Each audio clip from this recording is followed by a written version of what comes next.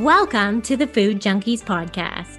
Here, we aim to provide you with the experience, strength, and hope of professionals actively working on the front lines in the field of food addiction.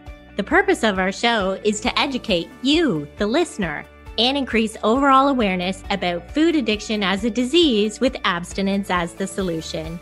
Here, we talk about all things recovery. Most importantly, how to thrive rather than just survive. So stay positive, make a change for yourself Tell others about your change, and hopefully the message will spread. Hey, Food Junkies listeners, Clarissa here. Do we have a great episode for you today? We have Julia Ross, author of The Cravings Cure, and we have her for a double header. She'll also be our guest next week. In today's episode, Julia describes how all of her years of work came together and she introduces the concept of craving types and the amino acids that she has tested clinically to help thousands of people reduce and eliminate them with some simple supplementation. Originally, we were going to air this episode second, but Vera and Julia did such an amazing job setting the stage, we decided to release this episode first. Let us know your thoughts by leaving a comment when you're done listening. It helps grow our show, which helps us get you more incredible guests to interview. Welcome to the Food Junkies podcast. My name is Dr. Vera Tarman, and I am your host today, speaking with Julia Ross, author of the well known books The Diet Cure, The Mood Cure, and most recently, The Cravings Cure. Julia Ross is a psychotherapist who has worked in the mental health and addiction field for over 30 years. She is the director of the Julia Ross Virtual Clinic based out of California that treats mood, eating, and addiction problems with neuronutrient therapy and biochemical rebalancing. Did you know that your cravings for food can be different than someone else's based on your craving type? To understand why some people crave sweet and others struggle more with savory and dairy. Want to know what food plan is best for your particular type of food cravings? Today is our second talk with Julia, delving deeper into the typology of food cravings and their types, with the hopes to better understand the larger picture of food addiction. Welcome, Julia. Thank you, Vera. I'm glad to be with you. Okay, so our first podcast with you uh, focused on the books, the diet and mood cure books. So, what was it? And, and, you know, they they were quite successful. So, what prompted you to write another book called The Cravings Cure? Well, the first two books, The Diet Cure and The Mood Cure, came out in 2000 and 2003, and the 21st century has been a fast growing disaster in terms of our diet and our loss of control in terms of the foods that we're eating, the quality of the food, the lack of nutrient content, and the addictive nature of the products themselves that most people are consuming most every day worldwide now. So originally, I was thinking of a problem in the United States. Now we have an international epidemic of, I would say, food addiction, processed food addiction. And the repercussions are so horrendous, really. Um, there's hardly a word to describe the fact that at least 50% of adults are have some form of diabetes, whether it's prediabetes, diabetes 2, or increasingly diabetes 1, and all of the diseases and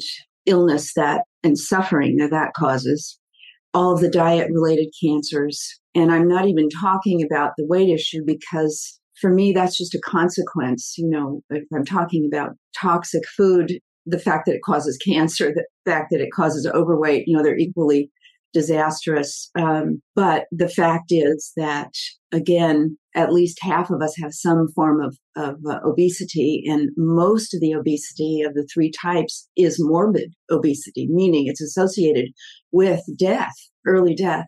So this is an emergency situation. And in the diet cure, I spent 30 pages talking about food craving and the negative moods that go along with it and the understanding that I was fortunate enough to obtain in the early 1980s about where addictive craving and associated negative moods come from biochemically as a psychotherapist, I, uh, like all the psychotherapists in the addiction treatment and eating disorders field, was experiencing pretty much complete failure at that time. Mm.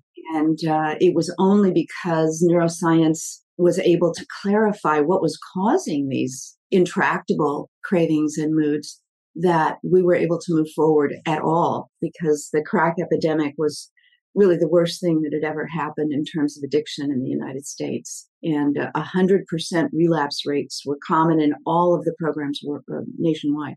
And so when I learned what the dynamics of uh, crack cocaine addiction were in terms of the brain chemistry specifically, it turned out that it applied to all kinds of addictions. And because food addiction is the overwhelming, most deadly, disfiguring, and associated with the most dismal mood picture, you know, I felt like it was an emergency. I had to give more than 30 pages to something that was a disaster. Yeah, you know, if I can just jump in, I, I really appreciate your acknowledging that it's a disaster almost beyond the crack cocaine or now the crystal meth disaster, which, you know, we'll see people dying more quickly, but the numbers, the morbidity, that you, you say the disfiguring nature of food addiction. I really appreciate that you're on t- in terms of the hierarchy, food is usually at the bottom, but you're saying no, it could be at the top it's at the top. You know, in, in terms of numbers, um, all, all, drug and alcohol addictions combined don't touch the, the number of uh, food related illnesses and deaths planet wise. Yeah. And uh, so it's not that I don't care about my original clients uh, suffering from from alcohol and drug addiction, but this is where it starts. And truthfully, my alcohol and drug addicts had terrible had terrible relapse rates, partly because they couldn't eat well in recovery, it was common, especially during the crack cocaine epidemic, for them to gain 30 pounds in 30 days. Right. In recovery, trying to substitute sugar yes. for and caffeine for for cocaine. And it didn't work, you know, so we couldn't keep them for more than, you know, a week or so until we discovered what was really causing those those terrible cravings. Okay, so uh, good. And I mean, you haven't forgotten your alcoholics and crack addicts because they're now called food addicts, right? That's right. exactly. So we're still we're still speaking to them, um, just in the newer version. But so so you mentioned that in that book you you had devoted thirty pages to craving types, so you felt you had to expand on that. So can you can you expand on it? Tell the listener now where you went from and how, like basically, what are the various craving types? You actually profile them as different, like a typology, right? And it, it's I think it's important to say right now that there are only five types. It's not infinite. Uh-huh. And that each one has a very concrete biochemical nutritional solution. But so where did this come from? Did I dream this up, you know, uh, one night uh, at 5 a.m., wake up with the revelation? No. In my desperation and depression and the depression of the entire addiction field, that the failure of, of our what seemed to be a glorious new model of addiction treatment I was looking around for alternatives. An alternative to 100% relapse is critically important. And I was also thinking of leaving the field. You know, how could I, in conscience, uh-huh. uh, take clients that we couldn't help? So God blessed us with neuroscientists who had been studying addiction among other things. You know, the, the brain is such a rich, you know, endless kind of field of study, but they were looking at some of the critical problems and seeing what what can our understanding of the brain add to what we understand about addiction and they found the holy grail they uncovered the fact that uh, the brain generates five different kinds of uh, pleasure enhancing appetite regulating uh, brain chemicals four of them called neuro, uh, neurotransmitters and one glucose regulation that allows us to turn away from toxic foods easily. Yeah. As we did for most of the years, you know, over a million years prior to 1970 when we began to experiment in a rash manner, you know, a really tragic uh, error in what we were taught uh, was a critical, you know, health saving, life saving dietary change turned out to be, you know, pose the greatest danger to the human race that there's ever been. Yeah. And, you know, just for our listeners, most of us have are on par with the idea of the neurochemicals, and even to some degree the uh, the, the, hormonal piece that, that you're talking about. You know, we talk about serotonin and and uh, dopamine and the stress response like cortisol. But what you've done, and this is the piece that I would really like you to flesh out, and also the insulin response, the importance of that, is you've taken those bits of knowledge that most of us are, a lot of us are getting that far, but nobody's actually synthesized that into a model of, okay, this actually explains various craving types and why it is that some people are different than others. Taking knowledge that we have, but actually now presenting it further. And I think that's the beauty of what your model is doing that I really hope you can uh, elaborate on. Sure. Well, let's just, you know, fast forward. The chief of the National Institute on Drug Addiction is a neuroscientist named Nora Volkow. Yes. And, uh, she is uh, very clear headed and very, very intelligent and courageous. And she in, has made it clear that all of the, the brain centered research on addiction concurs that food addiction is the same in terms of, of brain function as any other addiction. Mm-hmm. And uh, that the areas of malfunction in the brain that result in these overwhelming cravings really have their roots in five brain functions. So with that as our grounding, and that was the information that I got in 1986.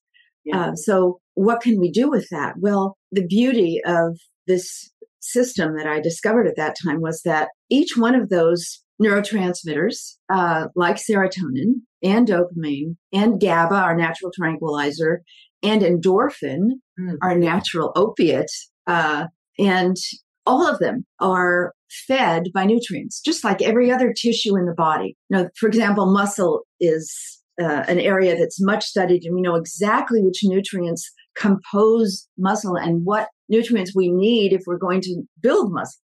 Well, it turns out that those same kinds of nutrients are needed by the brain. In fact, the entire body is primarily built with by a collection of 20 amino acids uh-huh. in innumerable combinations. But what we're so fortunate with at this moment is that the five areas of the brain that control our appetite are each fed by a single amino acid.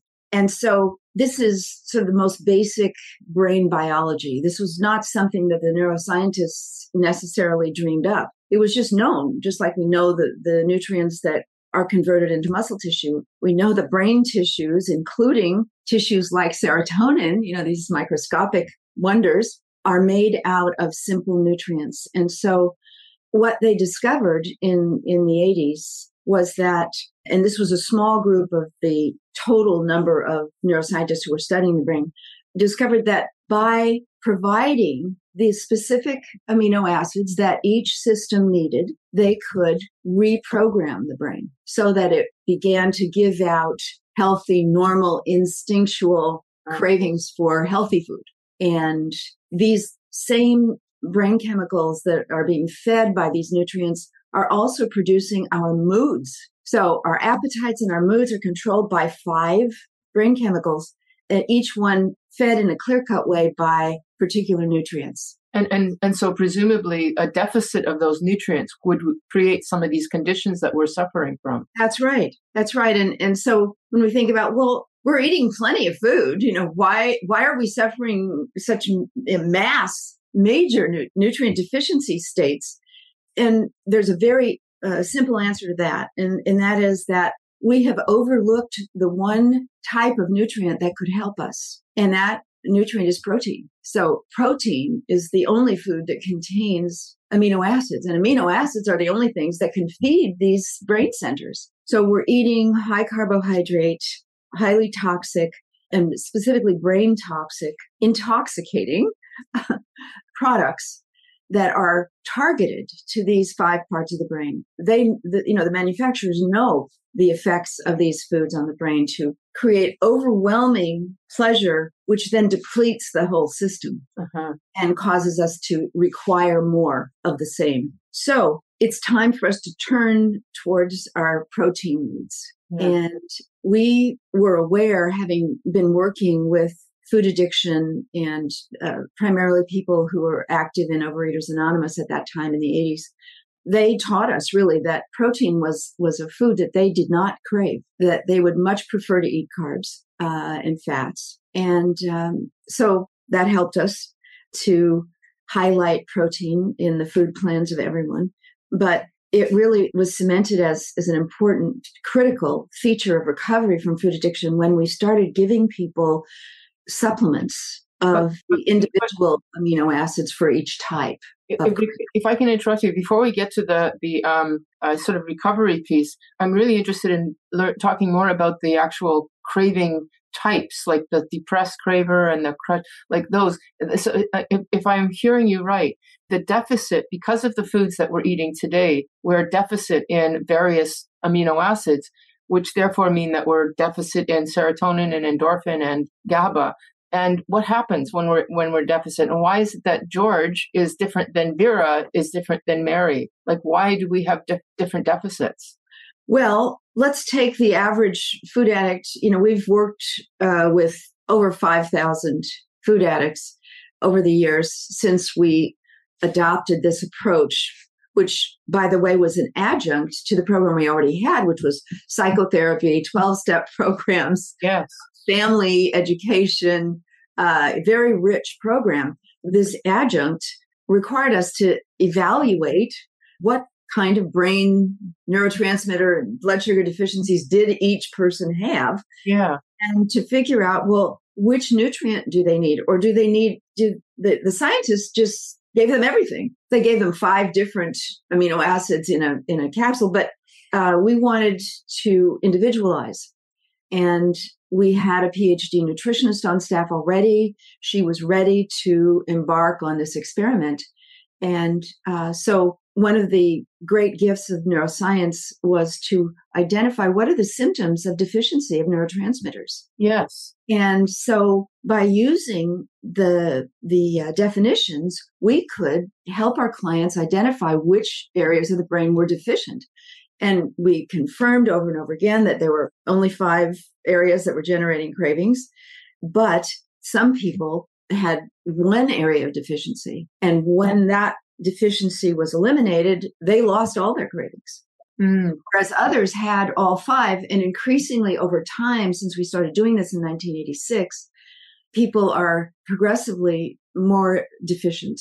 And so it's more common for people to have symptoms of all five types, sometimes very high scoring. So we score between zero and 10. Ah. Get an idea of how severe is this craving, for example, for ice cream and pizza. You know, if you've got an ice cream and pizza craver, you know, it could be what is it? And so we'll look at the deficiency symptoms and we'll see where their scores are high. And then we will trial them on amino acids and this is not anything terribly complicated. Basically, they open a capsule of the amino acid and put it in a little water and swish it in their mouths. And your uh, listeners can actually view our staff at uh, at our virtual clinic interviewing several people and having them trial on camera so that they can be seen because when taken sublingually the amino acids hit quickly and people notice the difference very quickly.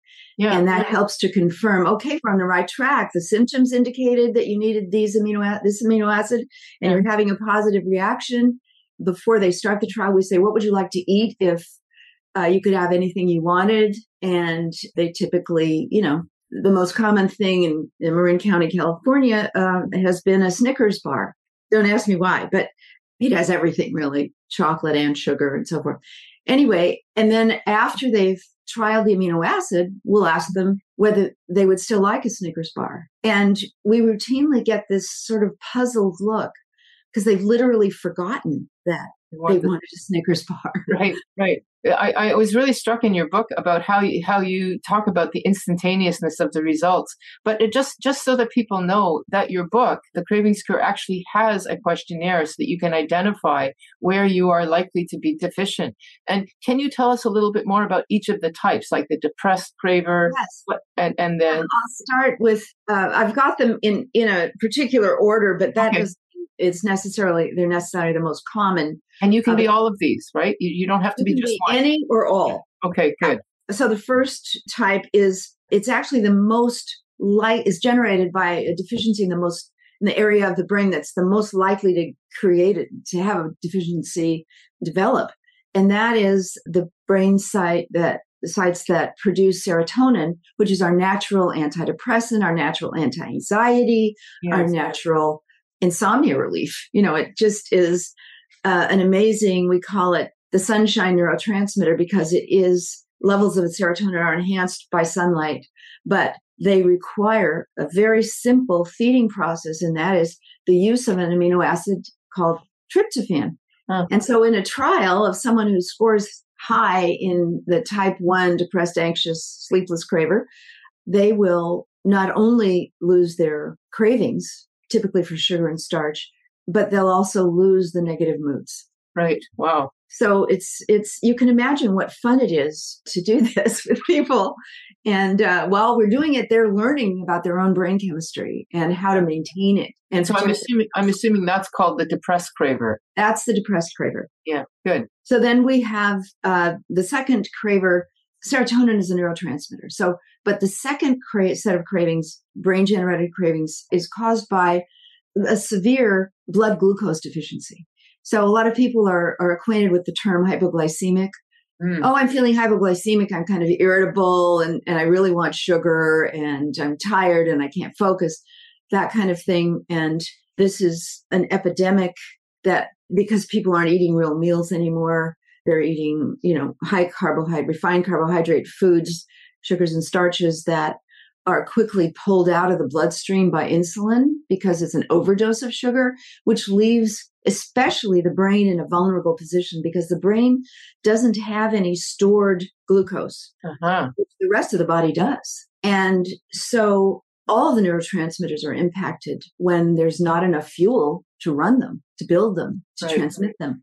So we have to address this low blood sugar condition and it turns out there's an amino acid that is specifically designed to convert into sensitive amounts of glucose throughout the entire body and brain. And it's an amino acid called glutamine, mm-hmm. uh, which has many other extraordinary properties. But this is the magic for hypoglycemic cravers. But you know that you're one if you're the if you're the person who is always searching for sweet anything. Well, it's very likely that you're the that you're doing that that you're constantly searching for not constantly because you know you get a, a, a sugar high and some yeah. people it lasts for 10 minutes and some people it lasts for two hours okay but then the crash comes and that's why yeah. we call it the crashed craver right right yes so then the third type of craver food craver is the one that you know as we've been working almost exclusively with food cravers since uh, 2014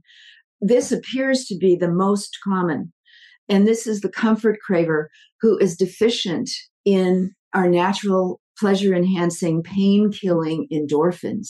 Right. So, so is uh, this is this the person who seeks ice cream when they're depressed or they've just been uh, dumped by their their partner? Yes. Yeah. And why is that? It's very interesting. You were asking me some questions um, about well, does does each type have a different food you know that it's drawn yeah. to? Yeah. In this case, yes, because let's throw uh, pizza in there too and cookies. Oh my God, yes. Some people, yes, pizza is number one for them. It's, yeah, comfort food number one. So, why is that? And that's because many of us have a sensitivity to gluten containing grains. And gluten fits into the endorphin receptors in the brain and gives us a particular kind of pleasurable high that nothing else can. The reason for the ice cream association and the cravings that that comfort cravers you know the satisfaction they derive from from milk products is that casein one of the two unique proteins in milk products also fits into the endorphin receptor in the brain. So it makes sense that pizza which has both yes. would be so high on the list but it also explains why it's always ice cream and cake you know it's even better than one or the other. So, fortunately, there is an amino acid supplement that quickly raises endorphin levels uh, by a, a, somewhat different mechanism, but equally quickly and blessedly, you know, for the cr- comfort craver. So then moving now tell us what it is. Please tell us what? what please tell us what it is.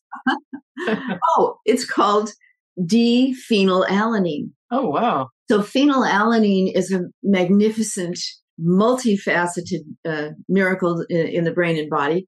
And this particular form, the D form of it, there are two forms of phenylalanine. The D form is able to slow down the brain's destruction of endorphin. Oh, interesting. And some people are destroying their endorphin too too quickly. It may be a genetic thing, it may be part of the toxicity of the diet, you know, that we're experiencing.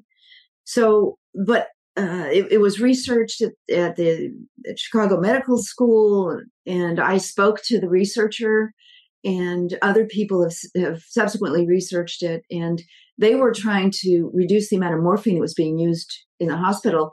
You know, they had no thought of food, drugs, mood, you know, and it helped. Uh, so then, because it was a nutrient, people started experimenting with it. And eventually, there was some research done, and we are the beneficiaries of this thing.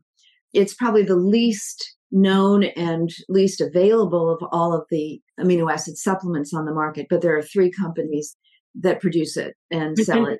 It might this be a reason why this is something that I've seen in my clinical practice that that I mean, we were talking about how addicts often become food addicts. That my my experience is it's the opiate users and the alcoholics that are more quickly sugar addicts, more quickly than anybody else, because there is that endorphin connection. That's right. I would explain that. Yeah. Okay. Sorry, I just had to say that because I just find that such a it's like a tri- a triad that um. Anyway, you're explaining it very well through your typology. Well, thank you. So now we're we're on our last. Well, no, no, no, no. We haven't. Uh, yeah. We we have we can't skip number four because oh. it's probably the the most discussed type of craving since COVID, um, and that is the stressed craver uh, who is deficient in our natural tranquilizer. The brain produces a neurotransmitter called GABA, gamma aminobutyric acid, which reduces levels of adrenaline yeah. quickly, instantly. And that reduction allows us to relax naturally without the use of popcorn, crackers, uh, whatever the, the stress munching habit is. Right. Uh, so then the amino acid that corrects it is actually GABA, which is not only a neurotransmitter, it's also the amino acid. Mm. It, it, can do both. Uh, and so we can, it's very easily found and works so quickly. And it's not only mental and emotional relaxation, but actual physical relaxation, the shoulders and the neck and, you know, all the parts of the body that are affected by the kind of stress we've been under. So then finally, we have what I call a fatigued craver, uh, deficient in several neurotransmitters that are very closely related dopamine, norepinephrine being the specific targets that relate to craving. And what kind of craving does a fatigued person have? Yeah. Fatigued person wants an upper. And so that the, the big addictive uppers are chocolate, caf- well, caffeine, chocolate, and for some people, just pure sugar, you know, a lifesaver, you know, just the pure sugar candy will give them a boost. Well, that would be like the gu- the gummy bears and the licorice eaters versus That's right. the eaters. That's right. yes. So for those people, the fatigued cravers, there is a very clear cut amino acid called tyrosine, which the brain imports and utilizes very, very quickly to raise levels of these neurotransmitters and give us a natural ability to feel focused energized mentally and physically. Yes. And and as you said a little while ago these are fairly instantaneous results if you get these uh these uh sup- these uh supplements. They are. Yeah. They are. Uh, it's and not only are they instantaneous but they last yes. until they're no longer needed. And why would we want to give up these miraculous uh, nutrients because once we start, and I mean within 24 hours of starting to take them, our clients report a complete ability to go to the store and buy healthy food and enjoy eating it. Mm. So then we have uh, we have recommended to them that they never have a meal that doesn't include protein and preferably animal protein being, you know, the primary food of the human race, you know, up until about 20,000 years ago when we became herders and planters, you know, we herded our own animals and but we planted food so that we'd have the carbohydrates and, yeah.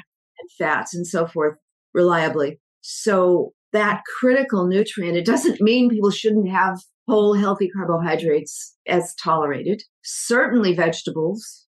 Well, before but before we get into the food, because we're dealing with people who are addicted, or at least we are at Food Junkies podcast as food addicts, which you can fit all of these criteria. That means a person's in deficit mode, and these supplements will kind of bring their levels up.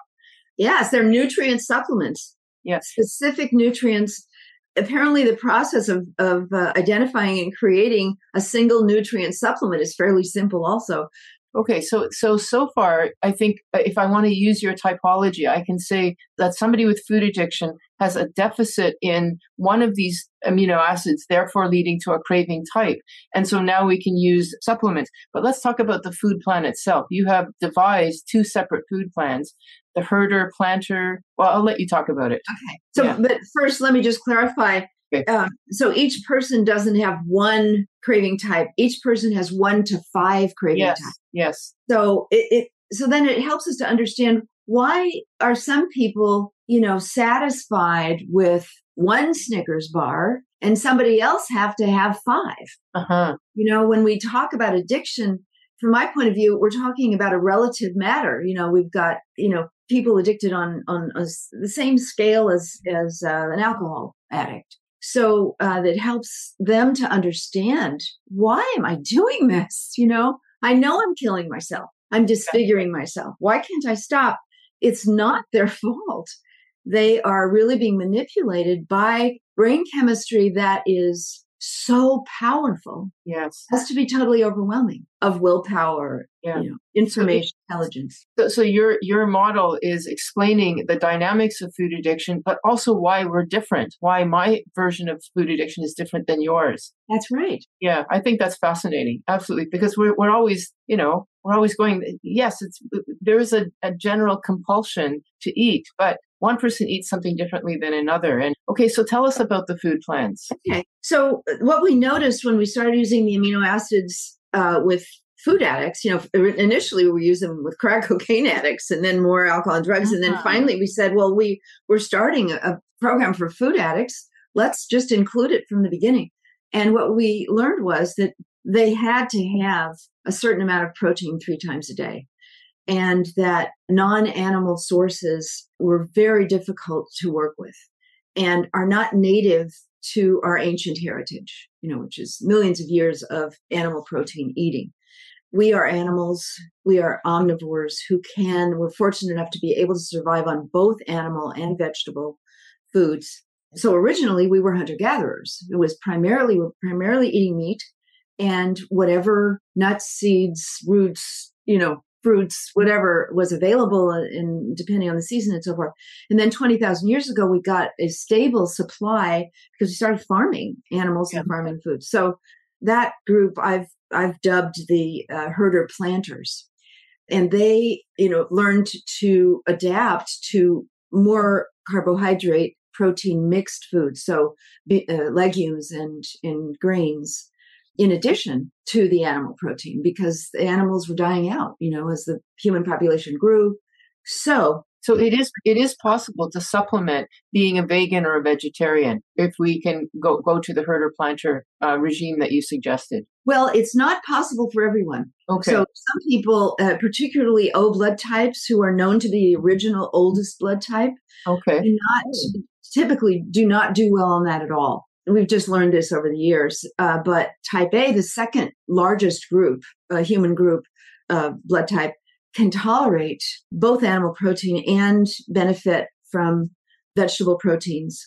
And we're we're not entirely sure about the Bs and the ABs, yes. but they tend to be in areas where they're combining animal and vegetable proteins. You know, as long as people are avoiding the highly processed carbohydrates, we're fine if they choose to combine beans and whole grains with preferably with animal protein but there are people who who won't do that and what we find is that they use the supplements they can then experience what happens when they get adequate amounts of protein and then they start working harder at getting the higher protein vegetable sources and it's a lot more work and a lot more calories. So if they're physically active, it's better because they can tolerate all the calories, you know, in in vegetable legumes and, and grains and so forth. So uh, we give them, you know, we encourage them to choose one or the other of these plans and plenty of food. Very important that they not undereat. Major factor in relapse.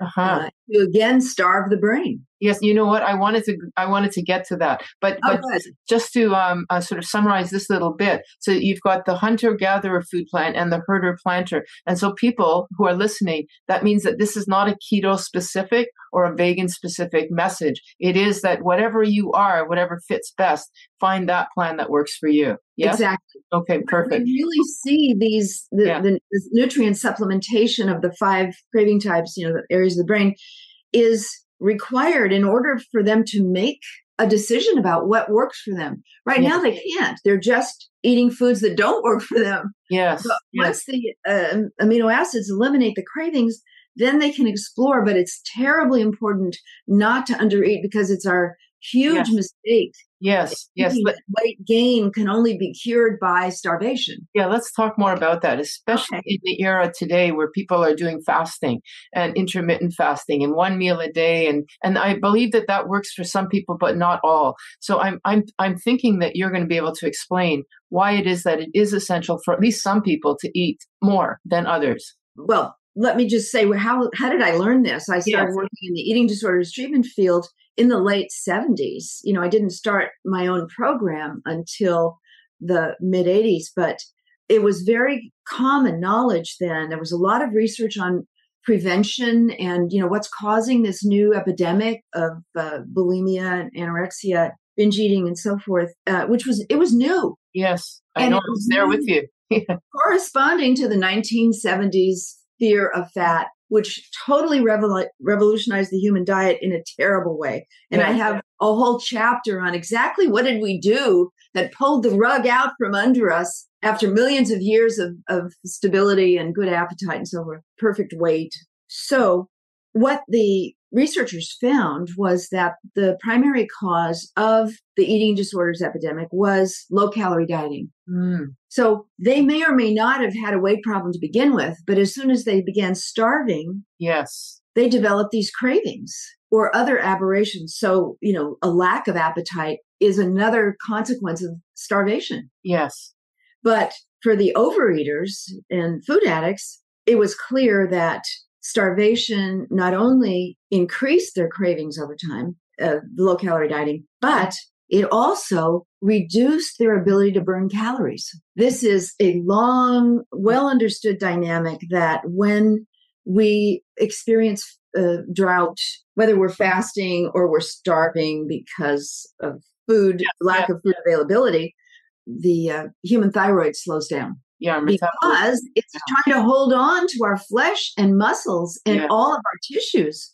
So that means that we can't burn, you know, after a diet, we may have starved off some usually muscle and so forth, but it all comes back on because we can't burn calories as efficiently as we used to. Right. Now, was I right in, in reading somewhere in your book that you recommended somewhere between 2,000 and 2,500 calories a day? Is, Well, is a that, uh, amount? A minimum of 2000 for an inactive woman, yes. minimum of 2500 for an inactive man and going up from there again individually you know individualized you know tiny people with a fast Yes. metabolism who aren't active are going to need more.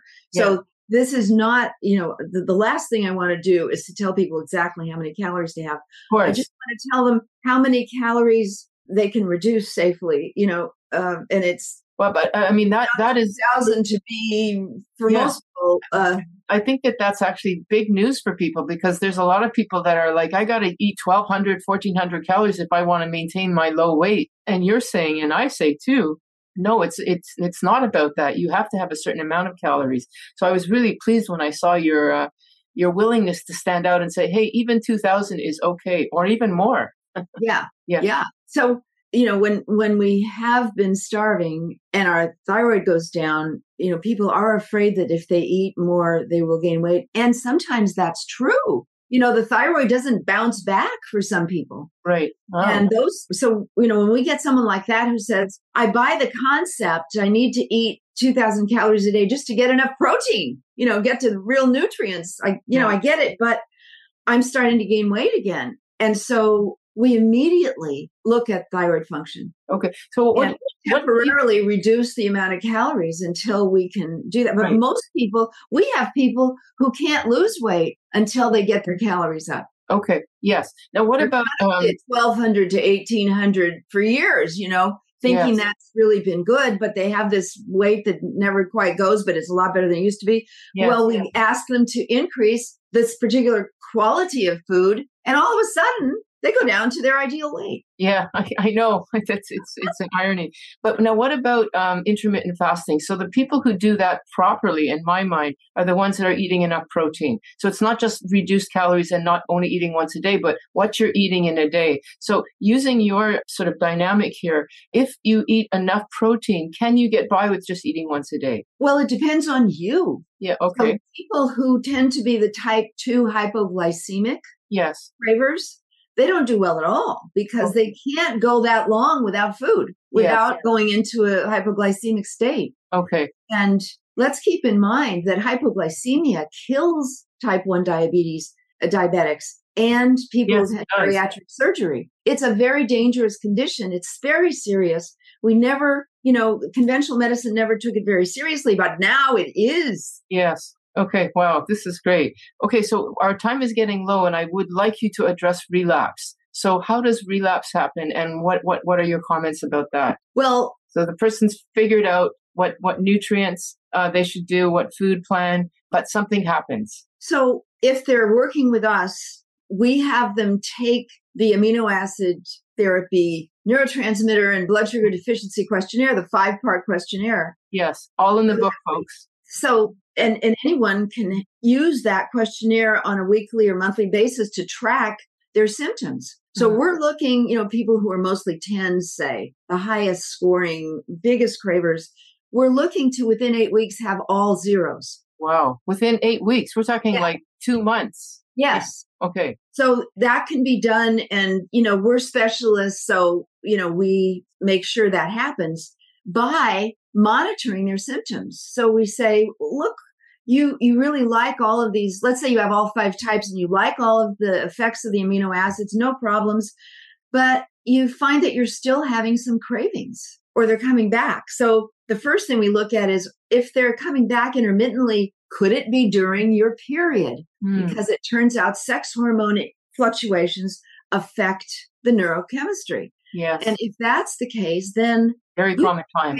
Need to take some extra of the amino acids just during those days. So I would say that's the most common scenario. But when people are working on their own, they don't realize that it would be fine to increase the amount they're taking if they're having symptoms. Okay. Once the symptoms are gone, they don't crave. There's no relapse. But let's say they they've done well, they've been adjusting their aminos as needed for several months and it's and they're eating really well and it doesn't seem like they need them anymore. And they go on a vacation and forget to take them. So then they find out, sometimes they find out that they're not quite there yet with at least some of the craving types and that they need to take less, but they still need to take a few months more of whatever the amino is. It is theoretically possible, though, to take what you need and then transition to a proper food plan, either the herding planter or the hunter gatherer, and then not need supplements anymore or oh, nutrients. Oh, yes, that's yeah. the most common scenario. Yeah. Okay, wow. But I just wanted to make it clear that everybody's going to fine tune themselves. It's easy, but uh, they may think, well, gosh, you know, uh, I didn't have any cravings when I was taking two of these, uh, two of this type of supplement. Why am I having cravings now? Well, we don't know, but just take a third and that will usually correct the situation. No, no. Let me ask if I if you if you can bear with me with a few more minutes. Are you okay for a couple more minutes? Yeah. Okay, yeah. perfect. This is just really fascinating. So, if a person does the nutrients and does the food plan, do you believe it's possible that some people might be able to moderate a little bit of sugar, like on a birthday or Christmas or something like that? Or are you like a no abstain abstinence is essential?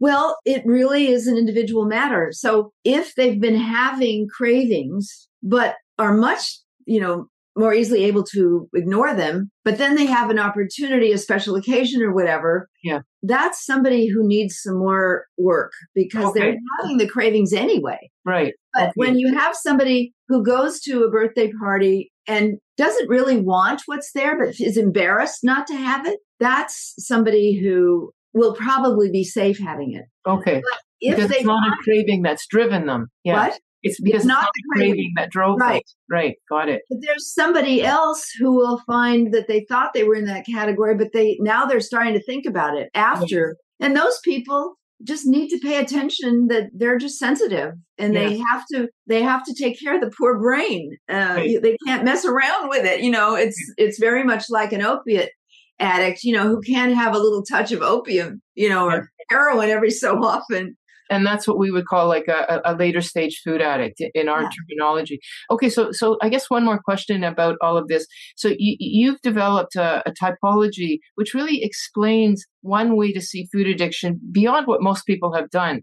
What's been the response in the clinical community to to your approach about food addiction or even just addiction? Has it been largely favorable? I mean, your books are very well known. I hear about your name all the time. But are there people who are going, "Oh, this is ridiculous," or like, what's what's been the well, general response? Let's take different health professions. Okay. Uh, we've been thrilled to see that psychiatrists, for example, all say the same thing. Well, it's probably not going to help you, but it's not going to hurt you. Oh, They're- geez. Right. you know, so we're fine with that. Okay. Okay. Yes. Uh, that opens the door for an experiment, and that's all we need. And Yeah. sometimes they get intrigued by the results, but mostly they just think it's a fluke, you know. Uh, but then we, especially in the early days of working in the eating disorders field, we individual uh, eating disorders therapists would refer to us for this work and whatever else we were doing that they weren't doing, maybe a group support group, and they would do the individual or family work, whatever. And I would say about 30% of the time, after a couple of months, the client would say, You know what? I don't need therapy. I came here to get rid of my cravings, and that never happened with the therapy, but now they're gone. yes. And look, I'm in love. I'm about to get married. Things are going really well for me. I'm happy, you know, now that I don't have these cravings. And the therapist would become enraged. And we were saying, look, we've done everything we can. We've encouraged them to stay with you. Yes. That, uh, what it can't hurt. You know, we're we're in no position to judge whether they need it or not. All we know is Yes. they had a biochemical deficiency and a nutrient deficiency, and you know, we helped them with that. Yeah. And you know, Um, and, and if there is trauma underlying whatnot, well, now they're more prepared to deal with that trauma. Like if, if, if, Absolutely, they have their their complete system back. yes. We haven't talked about that, but the, the emotional uh, recovery that takes place, the lack of stress, overstress, Yes. the ability to handle pain. You know, so our clients who would typically, you know, go to bed with a gallon of ice cream with a loss, like you were talking, you know, of a lover or whatever, um, they, they they suffer. But they'll contact us and say, you know, I just wanted you to know I don't need the ice cream. Uh-huh. I can live through this. Yes. Yes. That's great. That's wonderful. I have to say, I'm so happy that you were able to uh, cover so many of our questions. Is there anything uh, that you haven't talked about that you would like us to know about your book? And then moving from that, how we can get more, how people can get in touch with you and whatnot. But first of all, is there anything that we haven't touched on that you'd like to? I'm just looking at my notes to see if there's anything. Uh, oh, there is one thing. Okay. Uh, what about the downside? You know, is there a Okay, yeah. downside to taking amino right. acids? is, there, is there anybody who shouldn't be doing this? Yes. And we actually have identified, you know, through research and through trial and error, that there are certain conditions, for example, someone who has high blood pressure. That's probably the most common thing we get. Someone who has high blood pressure, they're typically on blood pressure medication, and it's not so much of an issue. But tyrosine, which is the amino acid that feeds the energizing, you know, body and mind systems, uh, will raise blood pressure if it's already abnormally high. And uh, so we ask them to work it out with their doctor that we're going to change their diet so their blood pressure will probably go down, but they need to monitor their own blood pressure. Yeah. And we we uh, use a, a, blood pressure cuff when we're trialing them to see you know how they do. But when I was working in alcoholism, they all had high blood blood pressure from the alcohol. And we had a huge container near the front door, and it was filled with the bottles of blood pressure lowering medication that they no longer Mhm. needed when they stopped drinking. Same, you know, dynamic when they stop eating toxic food. Right. So, so there are um, some things that, and also uh, occasionally there'll be an interaction with medication So, you know, people who are taking medication on a regular basis need to check it out with their pharmacist or uh, their physician. So we've got a, a, a little chart that they can kind of check off. Do I have any of these things? And it's rarely a problem. Occasionally there'll be one amino they, they can't take, you know. So, for example, with high blood pressure, they don't want to go off the medication. The doctor doesn't want them to go off, so we won't give them tyrosine, but we'll give them whatever else they need. Mm-hmm. Being their their uh, most of their cravings disappear, so then they improve their diet, and then their blood pressure goes down. Yes, they can get off the medication, and then we can give them the tyrosine. Okay, perfect. Okay, well that's the, great. the name of the clinic is the yes. Julia Ross Virtual Clinic. Okay, that's how they can get a hold of you. Yes, and the the website is juliarosscures.com and so it has all three of the books and all kinds of information about the clinic and about uh, trainings that I do for health professionals so that they can add this to their repertoire. That's excellent. Thank you so much, Julia. And and people, please uh, get uh, pull out the book, get the book, The Cravings Cure. It's easily found on Amazon. Very easy to read. Very very very insightful. And I really want to emphasize that it does explain addiction beyond what most of us are talking about. We just know that a dopamine endorphins are affected, but we don't really understand how the dynamic. And your your um, approach really does fill in the blanks uh, in a way that's just very en- enlightening. So thank you so much for giving your time today. You're welcome. It's been a really, it's been a pleasure. Thanks for joining us this week on Food Junkies Recovery from Food Addiction. Make sure to join our Facebook group, Sugar Free for Life support group, I'm Sweet Enough. You can subscribe to our show in iTunes or Stitchers. That way, you'll never miss an episode. While you're at it, if you found value in this show, we'd appreciate a rating on iTunes. Or if you'd simply tell a friend about the show, that would help us out too. Don't forget to pick up your copy of Dr. Tarman's book, Food Junkies, which is available on Amazon. If you have any additional questions, both Molly and Clarissa are food addiction professionals and work one on one with clients. You can find their websites and email addresses in the show notes. Be sure to tune in every Friday when our new episodes drop. As Vera loves to say, the power is ours.